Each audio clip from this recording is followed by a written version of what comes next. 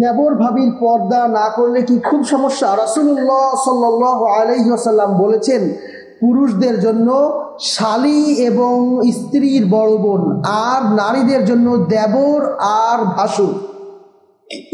এই শ্রেণীটা হচ্ছে আগুনের চেয়েও ভয়ঙ্কর। অর্থাৎ দেবর, ভাবি, শালি দুলাভাই, এই সম্পর্কগুলি এত কাছাকাছি সম্পর্ক, যদি এখানে পর্দার বিধানটা সঠিকভাবে আপনি মেনটেন না করেন, সেক্ষেত্রে যে কোনো ধরনের অ্যাক্সিডেন্ট যে কোনো সময় ঘটে যাওয়ার সম্ভাবনা থাকে।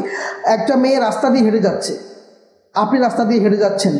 আপনি যদি যেই বলেন, আমি তোমাকে পছন্দ করেছি, চলো আমার সঙ্গে। বলে যদি হাতটা ধরে টান দেন। বিশ্বাস করেন টাচ করে একটা চর দেবে আপনার মুখে। কোনো মাপ নাই।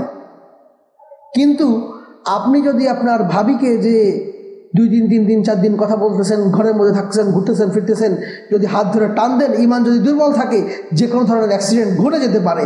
আপনি যদি শালির হাত ধরে টান দেন অ্যাক্সিডেন্ট ঘটে যেতে পারে, গুনাহে লিপ্ত হয়ে যেতে পারেন, জিনার গুণা হয়ে যেতে পারে, এমন ভয়ঙ্কর অবস্থা যেটা আপনি ভাবতেই পারবেন না। আর যেই ব্যক্তি আপনার স্ত্রী যদি মারা যায়, আপনার শালির সঙ্গে আপনার বিবাহ বৈধ, আপনার ভাই যদি মারা যায় আপনার ভাবির সঙ্গে আপনার বিবাহ বৈধ। সুতরাং এখানে পর্দার বিধান থাকবে না, আপনি ভাবলেন কি করে? কোনো সমস্যা নেই না, প্রচণ্ড সমস্যা আছে, অনেকেই আছেন যারা বলেন, ও, ঘরের মধ্যে ওর ভাবি, ও কোনো সমস্যা নেই কিছু হবে না। ভাবি তো মায়ের মতো। ভাই, আপনার ভাবি মায়ের মতো না। আপনার ভাবি আপনাকে ছোটবেলায় লালন পালন করেছে। হতে পারে এমন যে আপনার বড় ভাই অনেক আগে বিয়ে করেছেন, যখন আপনি নাবালক ছিলেন। আপনার ভাবি আপনাকে লালন পালন করেছেন, সব ঠিক আছে।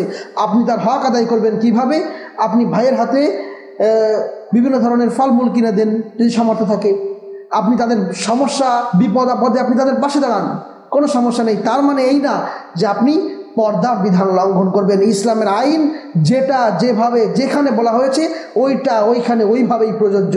আপনার দেবর ভাবির সম্পর্ক শালিদুল্লাহ ভাইয়ের সম্পর্ক, যত যাই হোক না কেন, কোনোভাবেই পর্দার বিধান লঙ্ঘিত হবে না।